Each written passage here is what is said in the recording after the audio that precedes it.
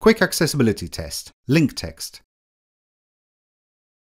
People who are blind use a software called a screen reader, which reads out all content on the screen for them.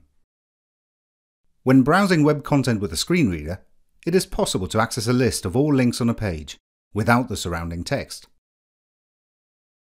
This means that links like click here or read more provide no useful information. The purpose of such generic links can be difficult to understand for some sighted people too.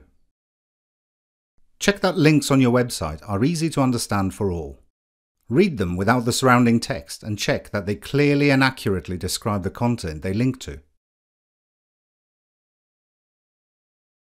To find out more about accessibility, visit our website at tetralogical.com.